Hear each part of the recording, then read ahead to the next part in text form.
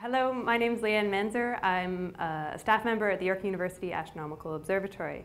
Uh, in this video, I'll be talking about imaging using the computer. And for this, I'll be using two different programs, one called CCD Ops and one called CCD Proc.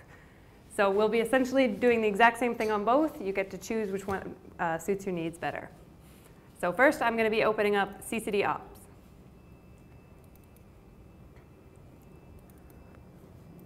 You press in camera, and under camera, you do establish comlink. So if the camera, if the CCD is connected properly, it'll pop up with a button saying establishing link with camera. Uh, once that's um, popped up, I want to point your eyes to a couple different things. At the bottom, you'll see it's a link to an ST9 via USB. It has a temperature of 12.5 degrees Celsius. This is just the temperature, the ambient temperature of the room, and the filter is set to red. So the first thing you want to do uh, when you're doing observing is cool down the CCD. So you go under camera, and then you click setup. In here, you want to press temperature re regulation to active. And you want to set your temperature to 25 degrees below the ambient temperature. So I said it was about 13 degrees Celsius. So that would be about negative 12 degrees Celsius. Sounds about right. And you click OK. So on the bottom here, you'll see that the, the temperature is quickly cooling down. It's working at 100% of the fan efficiency. So for as it's cooling down, it will be at 100%, but once it starts putting, um, going to the, the temperature that you've set it to, you'll see that this percentage starts leveling off. You want that percentage to be around 70 degrees, sorry, 70%. If it's any higher, the, the, the CCD is working too hard in order to maintain that temperature. If it's any lower, it means you can push the CCD cooler. And in order to do that, you just go back right into setup and you can push the temperature cooler.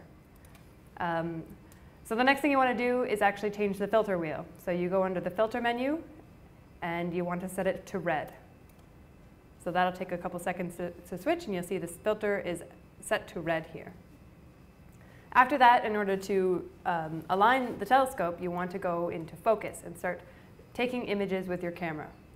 So for bright stars, you want to set the focus to quite a small number. So I'm going to do 0.12 uh, of a, of, a, of a second.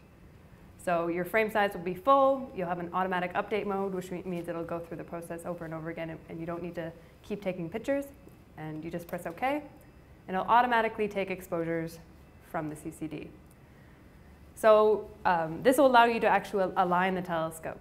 Once you have um, once you have this going and you've actually aligned your telescope you, and you've actually moved the telescope onto um, the object you want to image, you'll have to shut this down so press close, close the image. You don't want to save it because it's just a, a, focus image.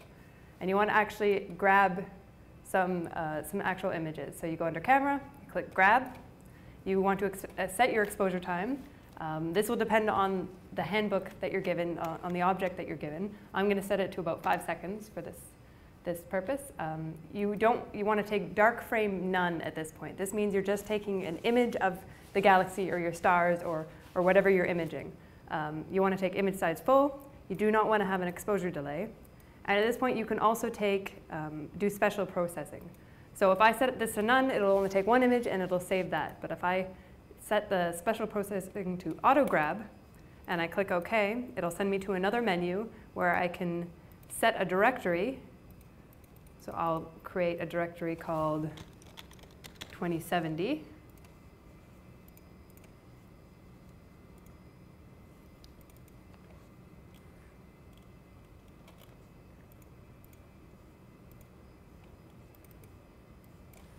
and I'll say my image, image. And from here, I can pick the number of exposures. I'll set that to five right now. And the exposure interval would be how often you want it to take an, an exposure. You want to set that to zero. And after that, you, you want to make sure that your type is set to a FITS format. This is a standard format for astronomical images. So you press OK, and you'll see that CCD Ops goes through the process of taking five five second light exposures and it'll automatically save it to your, your directory. So once you're done that, I'm just going to escape out of it. Once you're done that, you want to uh, take what are called lights and what are called darks. So you go to grab again, you want to set your dark frame to only.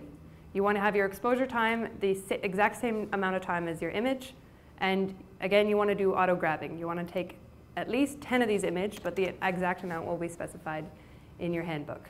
Again, they're going to be FITS format. You want to set the name to darks. And we can go through the process of taking these image. This will allow you to remove a lot of the noise that's in your image. So after these are done, you want to now take your flats. So again, you go to grab. Uh, you want to take, set your dark frame to none. You want to set your image size to full. And again, you're going to do special pro auto processing. So as I described in the, the nighttime observing video, you want to take some flats. So flats involves pointing a bright light into the dome and then pointing the telescope towards that, the reflection of that bright light. Um, so first you want to take a grab and you want to look, you want to investigate how long your exposure should be in order to get the right number of counts, the right number of light coming into the flat, to the flat. So I'm going to pick a very short exposure time, so point four seconds because I, my telescope's pointed at a very, very bright part of the sky.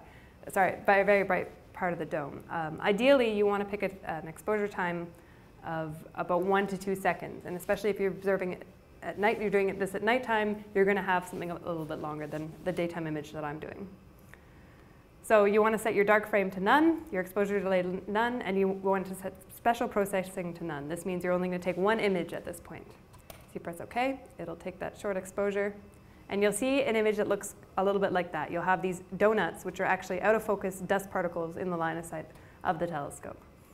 So in order to see the number of counts, you click Show Histogram, and you can see that the, the average value is about 37,000 counts. So this is an all right number. I would actually bring it down a little bit more in order to make sure I'm not over or under saturating um, any, of this, any of the image. So bring that down to about 0.3. Do it again.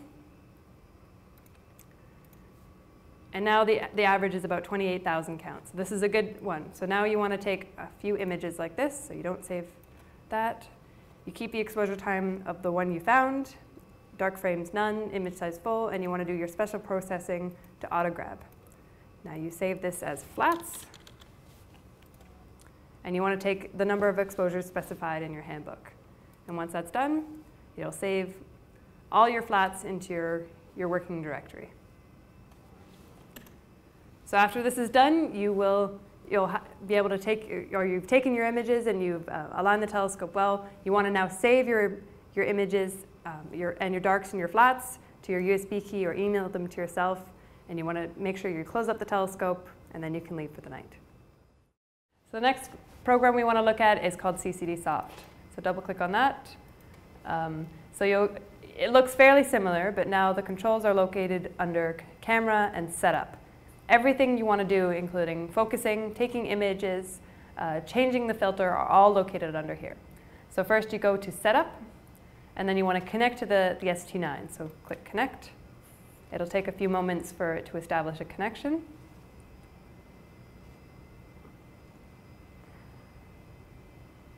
So once it's established a connection, you'll see the temperature is still quite cool from the previous program we ran, but it's slowly warming up. So you want to make sure that you have to reset that temperature down quite a bit.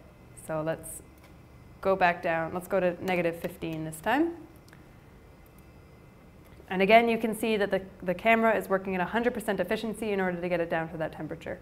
It'll only be working, should only be working at about 70% efficiency once it's settled at that, that temperature. So keep your eye on that. So we've cooled down the, the camera to about minus 15. It's sitting at about 70%, which is good. Uh, now you want to make sure you change your filter wheel to red. So it's sitting right there. Um, you're able to change your image type over here called image. Um, you can take a light, which is just a regular image. You can take a, a dark, which is um, a dark image, and you can take a flat field. So by changing the drop-down menu, you're going to be taking a different type of image, each one. Over here is where you find your exposure time. Uh, right now we have it set to 0.2 seconds. Um, and then in, in, the second menu, you can also use a focus tool, which allows you to take a multiple series of images. Again, you can set your exposure time to 0.12, some very short, so you're able to expose very bright stars. And you just simply press take image, and it'll take a, a series of images for you. So right now it's set on flat field. So I'll abort that. If I go to light, focus, it'll take a series of bright frames like that. Okay, so if you want to save your images, um, you can auto-save them to a folder. So right now we have it selected at 2070. You want to choose your folder, I'm going to create one called Leanne. You go into here, you click Save, and now you can change your file pre prefix depending on what your image. So say I'm imaging M57, I can call it M57. Um, and you can choose your starting number to be 1 and then you can go back to your images and depending on what type of image, whether it be a light, a flat field, or a dark, it'll automatically put that extension to the end of your file, sorry, to the end of each file. Um, so once you're, you're done um, focusing and you have your telescope all aligned, again, you go to take image, you set your exposure time to be whatever you would like it to be uh, for your lights and your darks, and then you go through the same procedure that I described in the previous um, part of, of setting up your flat fields. So here, instead of um, bringing up a histogram, you'll want to use the value that's at the bottom of the screen right here, which will show you your average number of counts. So once you're done with that, you're able to um, close up, make sure you save all your images, and you're done for the night. So that's it.